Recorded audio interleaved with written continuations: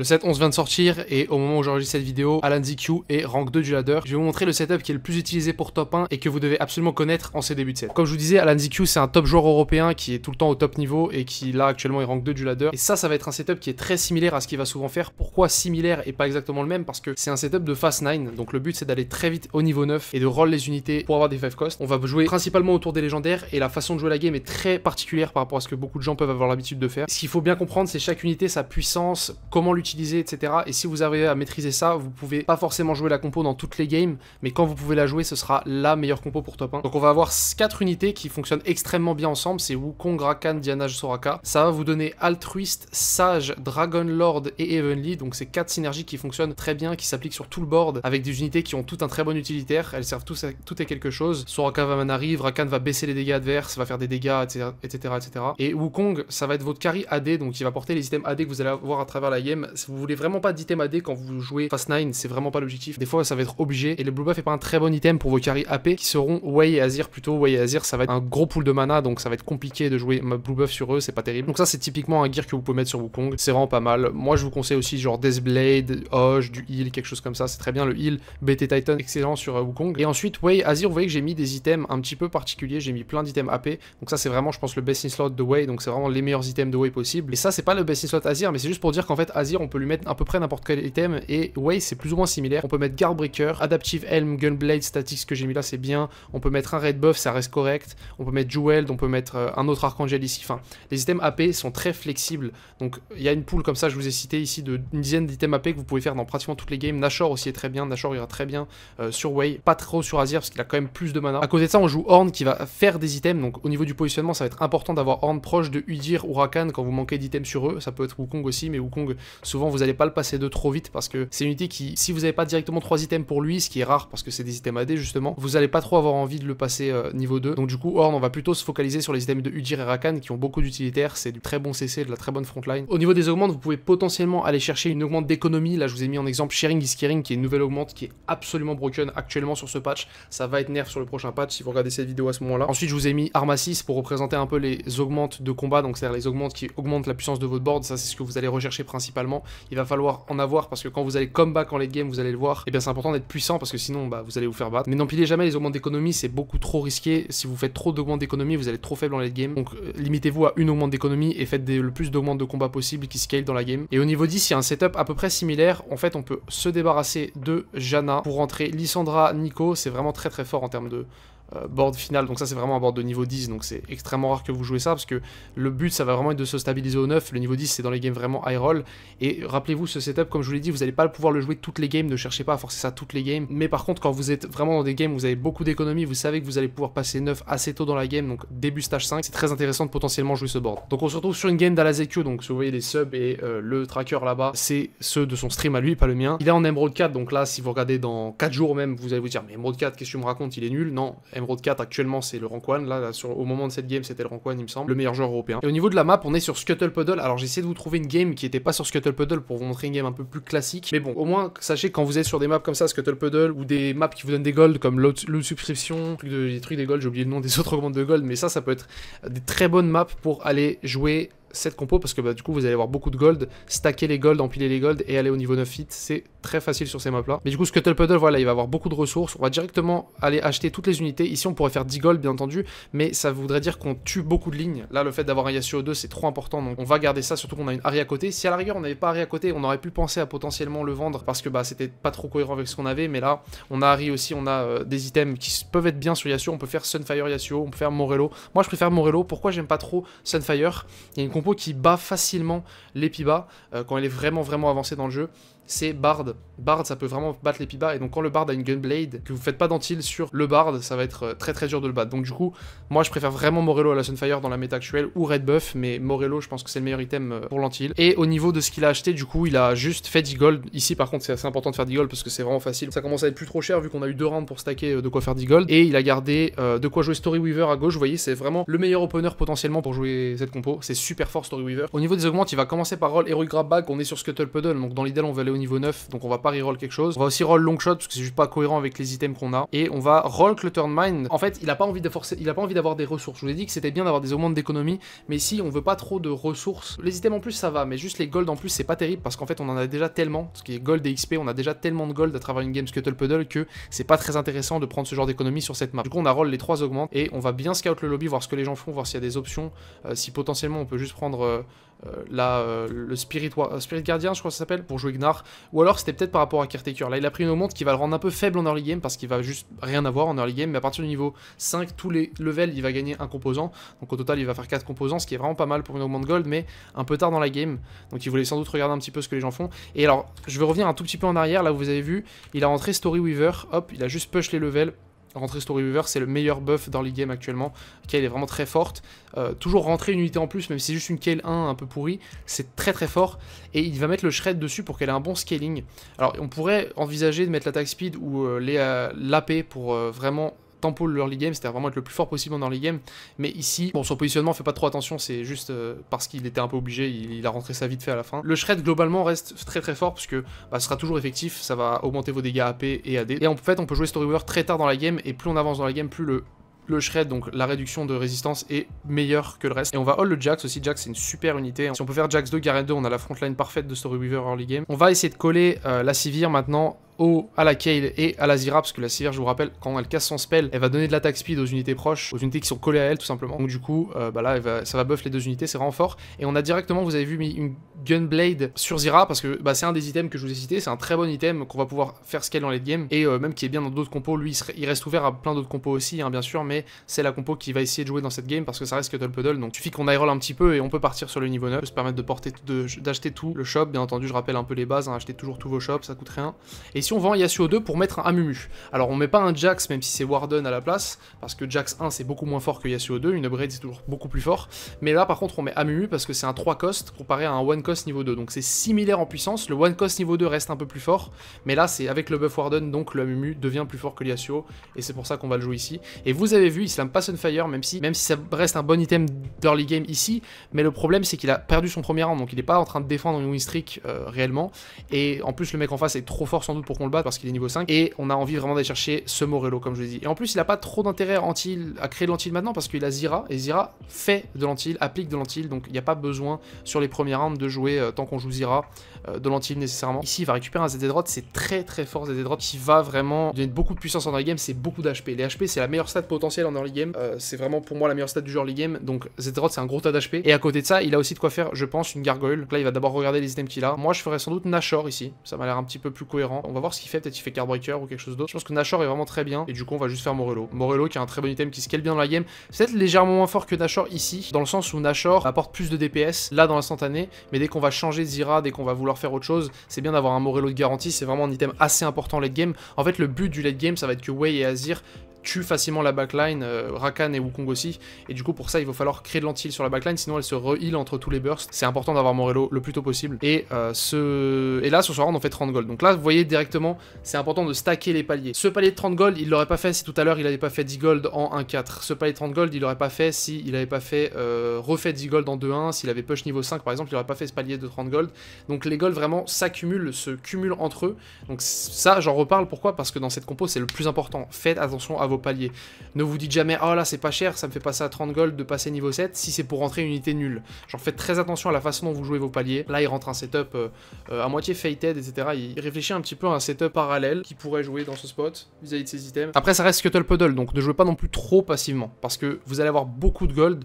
Donc du coup, ça va être important de jouer autour de la puissance de board et des HP. Parce que tout le monde, tous les cas, dans la game, a beaucoup de gold. Vous n'êtes pas euh, au-dessus du reste. Souvent, on a l'impression en Scuttle Puddle que on a énormément de gold et que du coup, on est trop bien dans la game. Mais tout le monde est potentiellement très bien dans la game. N'oubliez jamais ça. Là, on va push 6 directement parce que bah, ça lui donne un composant. Donc la value est assez dingue parce qu'il n'y a pas grand-chose à, slam. Il aurait pu slam steadfast ici, donc euh, gant avec euh, chain. Je pense qu'il voulait s'assurer qu'il n'y avait pas quelque chose d'autre à faire de mieux au niveau 6 avant de slam quand même. C'est pas con. Et on a fait double gargoyle. Alors, gargoyle, gargoyle, ça fait beaucoup, beaucoup de résistance. Ce serait pas forcément super intéressant de base, même si ça reste fine sur beaucoup d'unités. Hein.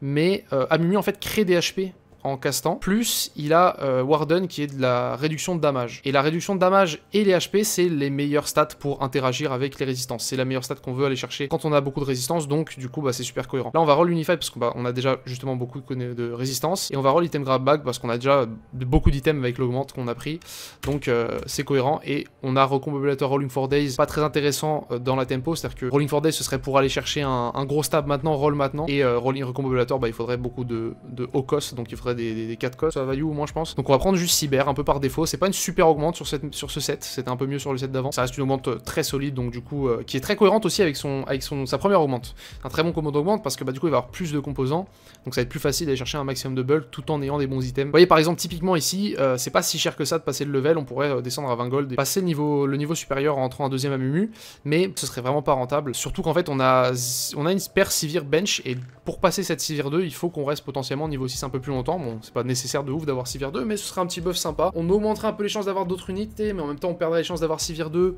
donc rien que là-dessus, c'est pas terrible. Même les deux cos qu'on a, genre Riven, Atrox, c'est des super unités euh, euh, pour jouer le mid-game ça peut être très intéressant, et même Zira, donc là on veut vraiment des hosts de Zira, donc c'est important de rester niveau 6, bon là vous voyez que je vais un peu loin euh, dans, la, dans la théorie, je sais que peu de monde aurait pensé à passer niveau 6, mais c'est pour vous expliquer un peu la valeur des levels, il faut penser aux unités que vous gagnez, les, chances que vous gagnez d'avoir certaines unités, et les chances que vous perdez d'en avoir d'autres, ça les gens s'oublient souvent. Les micro-paliers peuvent être très importants aussi, surtout quand votre plan de jeu il est axé autour d'aller au niveau 9, on a directement mis un arc sur Sivir, ça ça m'intéresse, c'est sans doute juste pour qu'elle caste un petit peu plus vite, il se dit euh, dans tous les cas cet arc je vais pas en faire grand chose pour l'instant, il va peut-être aller chercher Steadfast d'ailleurs. Super item, hein, encore une fois, de la, réduction de damage, donc euh, ça synergise très bien avec les résistances un item qui peut aller chercher sur Amumu.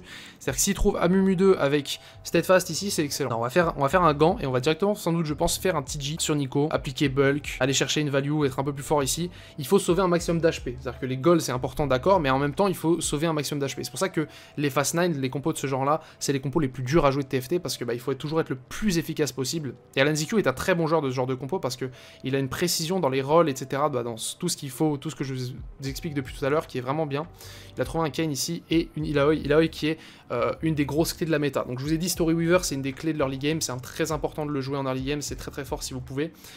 Ilaoi c'est aussi une autre clé et les deux combos très bien ensemble parce que vous allez avoir Zoé en Story Weaver et vous allez avoir Garen aussi. Donc vous allez avoir euh, les deux synergies les plus importantes de Ilaoi. Et vous avez Ghostly aussi à côté. Donc Ghostly, rentrez-le avec n'importe quelle unité après ça. Donc on peut faire euh, facilement des boards avec Ilaoi, Zoé, Garen, Atrox et Riven. Et faire un Story Weaver niveau 5-6 qui a vraiment beaucoup beaucoup de synergie. Rentrez le plus possible de synergie de Ilaoi, rappelez-vous ça, c'est vraiment une super unité. Sans doute le meilleur 3 cos du jeu actuellement. Et on a rentré un Kane random avec euh, TG, ça reste toujours une unité qui fait beaucoup de dégâts. Là on manque principalement de dégâts, on a énormément de frontline avec ce ZD cette Nico 2 et cette Ilaoi double item. Maintenant il va nous falloir un peu de dégâts, donc c'est bien de rentrer ça Ghostly, ça reste aussi une super synergie globalement dans la game. Hein. Dès que vous pouvez rentrer un petit Ghostly par-ci par-là, ça augmentera toujours les dégâts que les unités vont prendre en face et c'est trop fort. On a bien mis aussi Soraka au milieu, un petit tip que je vous donnais, même si je vais bientôt sortir une vidéo où je vous expliquer un petit peu le positionnement de chaque unité du jeu. Mais Soraka, ça range en fait son cast, donc elle va envoyer un petit cercle qui va réduire la mana, enfin qui va augmenter la mana demandée des spells adverses, mais elle va le faire que dans sa range à elle. Donc si vous la mettez dans les coins, elle ne pourra pas faire un cercle très efficace. Si vous la mettez au milieu, elle a plus de chances de faire un meilleur cercle parce que en fait elle va toucher le plus d'unités possible, mais que dans sa range. Donc ne la mettez jamais complètement dans les coins Soraka, c'est pas terrible de faire ça. Et ici on a pu passer niveau 7, 50, on a sauvé quelques HP, mais ce qui est intéressant vous voyez c'est que c'est pas une game non plus trop facile, on n'est pas en train de détruire la game, on n'est pas en train non plus de, se faire détruire, parce que si c'était le cas on jouerait sans doute pas cette compo, ce serait impossible. Et on a trouvé des, bons 4 costs aussi, Annie c'est des bons 4 costs pour avancer dans la game, c'est des 4 costs qui peuvent vraiment aider à, setup, ça va pas forcément quelque chose qu'on va garder très longtemps, mais ça peut aider vraiment comme je vous dis à, setup. C'est bien là ici on fait un statique, pourquoi un statique? Ça fait un, premier, un premier cast un peu plus rapide, la mana est très intéressante, mais surtout le shred, hein. il faut faire de la réduction de résistance. Maintenant, on avait déjà le shred de la Kale, certes, mais en fait, sinon, on aurait pu faire sans doute Nashor Archangel, j'aime bien, en vrai, j'aime bien Nashor Archangel, je sais pas trop pourquoi on a fait statique ici. J'imagine qu'il se dit qu'il va sortir Story River dans pas forcément très longtemps, et euh, qu'il trouve juste euh, l'item euh, l'item fort, tout simplement, qu'il en a besoin plus tard. Mais j'aimais bien Archangel ici, je pense que ça apportait beaucoup de dégâts. Là, bon, on a une encounter un peu nulle, d'ailleurs, il n'y a pas eu beaucoup d'encounter, je crois, dans cette game, c'est peut-être la première ou la deuxième. On va voir l'augmente. On va roll notre 2 directement Little Buddies. Alors, Little Buddies, intéressant. Pourquoi est-ce qu'on roll Little Buddies, même si on joue beaucoup de 4 et 5 cos, comme je vous ai montré? Bah, tout simplement parce qu'on joue 0, 1 et 2 costs. On joue que Nico potentiellement, genre, et Jana. Avoir un seul, deux ou un ou deux costs, c'est pas suffisant pour revaluer un Little Buddies. Deux ou trois, ça peut commencer à être pas mal. Deux, ça commence, on va dire, mais un seul pour Little Buddies, c'est pas terrible. Et Martyr, par contre, est excellent, parce que Martyr, bah, plus vous allez avoir d'unités, plus ça va prendre. Plus quand une unité meurt, tout le monde va recevoir euh, les HP, euh, le, heal. Et donc, c'est pour ça que Martyr, quand vous jouez des compos où le but c'est d'aller loin dans les niveaux, c'est très fort. Par contre, quand vous jouez martyr euh, en reroll, c'est pas terrible, donc faites attention à pas vous faire bait par martyr quand vous jouez des unités, des trucs niveau, niveau 6 ou niveau 7. Et là, ici, on a roll au 8, euh, très intéressant. Pourquoi est-ce que directement on va pas au niveau 10, au niveau 9 Pourquoi est-ce qu'on se dit pas ah on fait juste 50 gold en vendant des unités etc. Ici on est trop faible. On se dit juste qu'avec le board actuel qu'on a, on va prendre sur euh, les 3 rounds qui restent il me semble, sur ce stage on va prendre à peu près peut-être allez 30-40 dégâts. Et avec 50 gold ici, niveau 8, on peut faire un 5-1 avec 30, 40 gold, donc ça veut dire qu'en 5-1, donc d'ici euh, bah, 4 rounds, on pourrait passer niveau 9 avec à peu près, allez, 30 gold, mais euh, ce serait pas suffisant pour être sûr de gagner plusieurs rounds d'affilée, parce que 30 gold, sachant que chaque 5 cost euh, bah, coûte 5, du coup, logiquement, pour en trouver un niveau 2, c'est déjà 15 gold plus les rolls, donc trop peu de chances de trouver ce qu'il nous faut. Et on veut créer de l'économie, et pour ça, il faut en utiliser, donc il va falloir roll down pour trouver un meilleur board, trouver des meilleurs carries ici, se restabiliser, et une fois qu'on est bien stable, c'est là qu'on va aller chercher un niveau 9 qui est du coup un petit peu delay, on va être, ça va être un petit peu plus loin, quoique c'est Scuttle, donc il va quand même potentiellement pouvoir trouver, mais on va voir un petit peu la façon dont il roll. Je vais remettre en x1 ici pour que vous voyez bien comment il roll, donc là il trouve Annie, il trouve une paire d'Annie, Annie ça peut être une très bonne frontline, porter les items qu'il a A. On a aussi de Morgana 2 directement, donc là on va juste je pense faire Morgana 2, et à mon avis on n'est pas loin du point de stabilisation. Donc un point de stab, c'est un terme que certaines personnes utilisent, dont moi, pour euh, parler du fait que on a trouvé la dernière clé qui nous manquait pour être stable et avancer dans la game ensuite. Là, la Morgana 2, ça peut être notre point de stab en lui passant les items de Zira, je sais pas. Donc là, il va déjà vendre les unités qu'il est sûr de pas avoir envie de garder afin de d'être un peu d'y voir un peu plus clair. Et euh, voilà. Là je pense que voilà cette Morgana c'était en effet son point de stab est-ce qu'on ferait pas un Archangel en vrai sur cette euh, sur cette Morgana? Moi j'aime beaucoup ça nous laisse avec une, demi, avec une full Sunfire, donc c'est un peu pourri, mais euh, ouais, je pense qu'en vrai, en vrai, Warmog est plus cohérent, ça fait un troisième item directement sur le, sur le Galio, on veut, bien entendu, quand on a déjà deux items sur un champion, on veut en mettre un troisième, c'est ça qui est le plus fort. Une erreur que certains auraient pu faire, c'est de se dire, faut absolument que je vende Zira, mettre les items sur Morgana, très important, machin. C'est bien de passer les items de l'un à l'autre, mais c'est une Zira 2, Zira, elle fait quand même beaucoup de dégâts, vous, vous voyez, euh, la Zira elle a fait 3500 de dégâts, donc euh, on perd ça, on monte les dégâts de Morgana peut-être aller jusqu'à 4000, mais du coup au, change on est perdant, et en plus c'est sage avec, euh, Morgana, donc on va baisser un peu les dégâts de tout le monde, c'est vraiment pas très intéressant. Et ici on va pas vendre ce bench, hein. sur ce bench on aurait pu faire 20 gold, on aurait pu vendre Perani avec Nautilus par exemple, ou même Shen, mais on va garder ça, pourquoi? Parce qu'on se dit, et ben si on, touche à 2, ça peut devenir notre main tank. Ici de toute façon on est en train de transitionner tranquillement notre borne et du coup il nous faut des upgrades qui peuvent tomber. Ici par exemple on a eu là, c'est excellent. Bon on est en 4 story over 3 bruiser, ça veut dire que cette, cette Riven là littéralement elle sert à rien. Est-ce qu'on va la remplacer directement? Ok là par contre vous voyez on a remplacé la Zira pas par n'importe quelle unité, mais par un autre sage, donc du coup on garde les mêmes euh, buffs. On va même gagner Evenly, donc on va vraiment value énormément euh, le changement d'unité. En plus Wukong ça fait beaucoup de dégâts de base, là ça peut peut-être faire juste 1000 de dégâts comme ça euh, pour rien. Et là du coup c'est rentable de swap les items. Mais ne swappez jamais vos items pour mettre une unité complètement nulle à la place, c'est très rarement le play. On va repositionner un petit peu. Ce qui est bien aussi avec Wukong, c'est qu'il est un peu faible en termes de, résistance. Wukong il meurt assez facilement, ça le problème quand il a pas d'item. Mais il fait des très bons dégâts. Et là, ce qui est bien, c'est qu'on a Galio qui va reprendre l'aggro, donc il va capter l'aggro avec son cast. Et le Wukong, ça va peut-être lui laisser le temps de, faire assez de cast pour faire quand même pas mal de dégâts. Voilà, il fait son troisième cast, ça peut aider. Et là, cette Morgana, elle va nous emmener assez loin quand même. 20 gold. 20 gold, ici, on va, on va essayer d'aller chercher un, maximum de gold maintenant. Le but, c'est juste de rush le 9 avec ce, avec board. Et on a 52 HP, donc là, on peut se permettre de perdre, euh, allez, 30 HP pour passer niveau 9 avec peut-être 50 gold. Et là, faire un vrai roll down, stabiliser notre borne. C'est pas grave d'avoir peu d'HP à ce moment-là. C'est ce qu'il faut se dire. On veut maintenant des items, euh, des items backline, je pense un ou deux encore. Je pense qu'il faut prendre la belt. À mon avis, c'est la belt. Pourquoi la belt? Parce que la belt, ça peut être Nashor, ça peut être euh, Guardbreaker, ça peut être des items offensifs, alors que la, la chain, la côte de maille, c'est un petit peu plus compliqué. Est-ce qu'on va vendre vraiment? Ok. C'est vrai qu'on a déjà du shred, hein, donc en, vrai, cette Kale backline, elle sert à rien du tout. Mais là, on perd euh, Bruiser sur un Silas 2 avec un TG, donc là, il se demande est-ce que c'est le play? Moi j'aimais bien ce Galio quand même. Je pense que ce Horn... Euh, en fait, Shen est très bien. Shen est très très très bien parce que Ghostly, quand vous avez une Morgana carry, c'est trop important. Ça applique trop Ghostly Morgana, donc c'est trop important d'avoir la synergie avec Shen. Mais à côté de ça, on perd Bruiser, donc je sais pas si c'est vraiment pas juste Shen Galio en fait. Hein. On s'en fout de la, de Riven. Je pense que c'était potentiellement mieux. Mais en vrai, Horn c'est aussi excellent. Hein. Je suis pas, suis pas en train de dire que Horn c'est nul. Horn c'est absolument dingue. Ça peut donner des items à Wukong. Mais vous voyez ici, comparé au Galio, le Galio il captait l'attention. Et là, le Horn capte pas l'attention, mais par contre il, lui donne un item. Mais bon, du coup, le Wukong meurt direct, c'est un peu con. Euh, mais c'est ok, on affronte un gros Yorick avec l'augmente de Yorick. Pas une augmente euh, trop forte non plus, mais c'est une bonne augmente en tout cas pour tempo les lobbies, c'est-à-dire euh, avancer dans la game, pas nécessairement pour faire Yorick 3 comme il l'a fait. ça reste ok, mais c'est pas si dingue. Ici, on va avoir une Riven 2 et directement notre Galio, donc là, ça peut, on peut se demander est-ce que c'est pas Riven 2 qui revient? En plus, ce que j'aimais bien avec Riven, c'est qu'elle est altruiste. Pas forcément un misplay, mais je veux dire, on aurait juste pu... Là, on a une Zoé sur le, sur le bench en bas à droite, on aurait pu juste euh, enlever cette Zoé, en fait. C'est beaucoup quand même, Arcaniste, 20 d'AP sur tout le monde, c'est beaucoup. Et là, toutes les unités, à part si c'est peut-être le Wukong, profite vraiment de la paix. Donc, je dis ça, mais en vrai, non. Je pense qu'Arcanist est mieux. Ça, pour le coup, euh, c'est moi qui dis n'importe quoi. Et c'est quand, même con un peu d'enlever cette Riven. Hein. Je pense que peut-être Riven euh, over euh, Soraka. Soraka qui est juste qui est juste altruiste. Enfin, juste Evenly, du coup, non. Ce qui est intéressant avec Soraka, c'est que elle, elle donne de la paix à tout le monde, certes. Elle donne beaucoup d'AP à tout le monde. Hein. Elle a un passif qui lui donne plus d'AP que ce que vous pouvez penser. Je vous conseille de lire son passif si c'est pas déjà fait. Soraka aussi va réduire la mana, comme je vous l'ai dit tout à l'heure. Et donc, c'est important de. C'est pour ça qu'elle est forte, en fait. Donc, c'est là où je peux comprendre qu'il garde Soraka, mais j'aimais bien quand même un petit bruiser. C'est 100 HP sur tout le monde, plus beaucoup d'HP sur un Silas 2 qui a deux items. Moi j'aimais bien Riven 2 euh, over Soraka ici. Et du coup, vous voyez, on a stabilisé le board. On a fait 10 euh, gold sur le round tout à l'heure, donc on peut se dire, putain, on est trop loin du niveau 9, c'est mort. Sauf qu'il gagne 4 rounds, donc 4 gold en plus, plus la win streak, donc 2, euh, puis 3 gold, 3 gold de total, donc déjà ça fait 7 gold là-dessus. Plus il refait les paliers à chaque, chaque round, vu qu'il est pas descendu à 0 non plus, il est descendu à 10. Et là on a Scuttle, du coup on va pouvoir regagner de l'écho, et vous allez voir qu'on va avoir quand même un très bon 5-2. Et c'est extrêmement bien joué, hein. juste une maîtrise de, de l'écho et du roll down qui est excellente, il s'est arrêté au bon moment. Et ça, vous voyez, faut de la pratique. Euh, c'est là où c'est très compliqué de, savoir exactement les points de stab, parce que là, il y en aura qui vont me dire « Ah, mais moi je savais, là j'ai vu Morgana machin, je savais qu'il fallait s'arrêter de stab ici. » Et moi, honnêtement, c'est mon cas, je pense que j'aurais pu m'arrêter de stab ici. Mais il y a 30, 40, 50, 100 lignes potentielles dans le jeu. Euh, quand vous jouez cette compo, il y a 100 façons de la jouer différemment, d'y arriver avec, avec des, des setups différents, etc.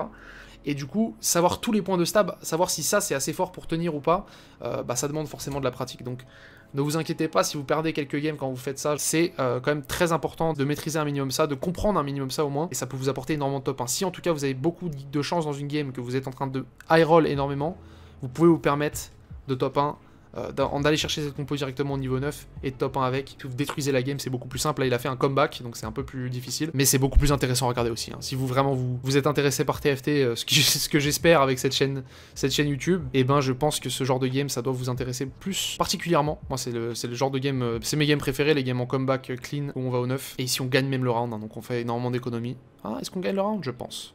Avec Ghostly, je pense qu'on gagne. Il va faire continuer la streak, plus le goal qu'on gagne sur le round. Là, il est déjà à 50 sur 72 sur l'XP. Et là, regardez, on va passer niveau 9. On va chercher Wukong. Et en vrai, on a trouvé Wukong 2. On enlève cette Zoé, donc ça fait gagner Sage. Donc bon, on perd un peu d'AP, mais on en regagne un peu avec Sage. Ça reste ok. on continue à roll. On s'est demandé si on allait continuer à roll ou pas. Là, on a trouvé ça. Là, on enlève Ghostly. Pourquoi, pourquoi alors que je vous ai dit que c'était très important? Parce que, euh, même si c'est très important, ça restera Khan, c'est une unité de fou. Euh, ça donne Altruist, ça donne Dragon Lord, donc deux très bonnes synergies qui vont donner des buffs à tout le monde. Et en plus, c'est une unité qui va réduire les dégâts en face, plus faire des dégâts. C'est quand même excellent. Donc en fait, on fait pas 30 gold ici, mais c'est ok. On accepte de perdre un peu, on n'est pas descendu à 0 gold. Une erreur que vous pouvez faire beaucoup aussi, c'est de descendre à 0 gold dans ce genre de setup, se dire il faut absolument que je touche tout maintenant, c'est maintenant que ça se joue, etc. Non, il faut, euh, il faut jouer la gamme comme ça. Et là, vous voyez, il a trouvé une Lissandra 1, et il remplace Morgana. Parce qu'il sait qu'il n'a pas euh, d'intérêt énormément à garder cette Morgana, elle apporte euh, aucune synergie, concrètement, elle, apporte un peu, sage, mais euh, on a déjà sage 2, donc c'est ok. Et en fait, on a Lissandra 1, et on a aussi. Donc là, il voulait dans tous les cas descendre, aller chercher Wei. Pourquoi Wei est important? Parce qu'il faut le trouver assez vite pour pouvoir avoir quelqu'un dans la case. Là, il faut juste delay les rounds le plus possible, tant qu'on survit le plus longtemps possible dans la game, Wei va nous emmener très loin dans la game. Wei, qui est la meilleure unité du jeu actuellement. J'en ai pas beaucoup parlé dans cette vidéo pour l'instant, euh, étonnamment, mais c'est vraiment la meilleure unité, c'est elle, c'est lui plutôt, que vous voulez aller chercher, je disais elle pour, par rapport à l'unité au féminin. Euh, c'est cette unité-là que vous voulez vraiment aller chercher dans le jeu. Donc là, il a pas mal de chats parce que bah, c'est un, un carrousel avec deux items. Donc là, il peut bien itemiser ses champions. C'est une compo qui bénéficie énormément du fait d'avoir beaucoup d'items. Euh, et ouais, Wei, c'est très important. Bon là, super, il a trouvé directement Wei 2. Wei, pourquoi c'est très très fort? Les dégâts sont Le heal est dingue. Donc ça, déjà, simple. Le duplication de champions quand vous jouez des 5 costs, c'est trop fort. En fait, c'est impossible de vous empêcher de cap. Ça vous permet de créer tellement de high roll. Techniquement, vous créez, vous créez votre high roll, vous créez vos champions niveau 2, que ça vous permettra d'aller beaucoup au niveau 10 et du coup Wei aide à valider des games, valider des top 1 et vraiment en fait son IA est dingue, c'est-à-dire qu'il va, il va toujours toucher le plus d'unités possible, c'est juste ses stats qui sont fortes concrètement, Wei c'est pas, pas beaucoup plus complexe que ça, il fait juste très mal.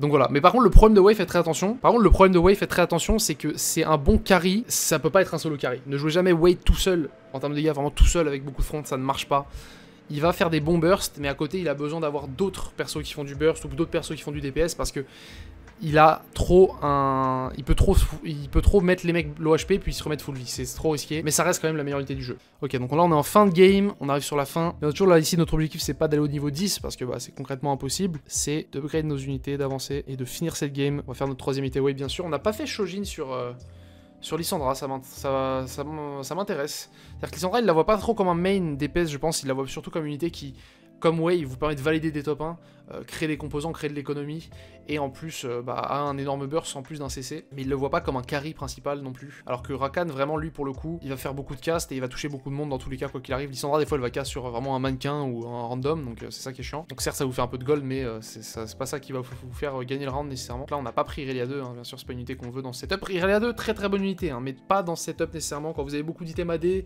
ou que vous jouez simplement 7 Storyweaver. Storyweaver c'est très très fort à ce moment-là Irelia, mais ou 8 duelistes, hein, ou si 8 duelistes c'est très très fort Irelia aussi. Mais dans ce genre de setup euh, Fast 9 classique, c'est surtout Wukong qui va prendre les items AD et c'est tout. Et encore là, vous voyez, il a juste un TG. Alors Udir, on, préfère le mettre aussi sur les côtés, petite information. Udir, on aime bien le mettre sur les côtés pour qu'il essaye d'aller dans la backline, qu'il accède au carry. Et comme ça, quand il se transforme en mode tigre, euh, et qu'il fait beaucoup de dégâts, et ben là, il peut one-shot le carry. C'est des choses qui peuvent arriver si le mec positionne mal. Contre ça, vous avez un positionnement, mais je vous spoil pas trop parce que je vais faire euh, une vidéo là-dessus, mais vous avez un positionnement où vous recentrez votre frontline. Et voilà, là, il a top en la game, classiquement. En tout cas, merci à vous d'avoir suivi la vidéo. N'hésitez pas à regarder mon rush chall. Actuellement, je suis dans un défi pour 100 balles euh, avec euh, quelques potes challenger sur ma chaîne Twitch. Vous pouvez voir ça directement. Moi, je dis à la prochaine. Salut tout le monde.